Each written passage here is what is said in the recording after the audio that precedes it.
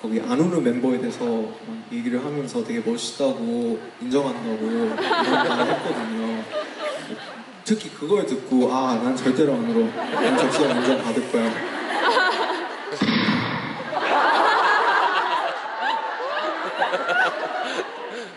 어,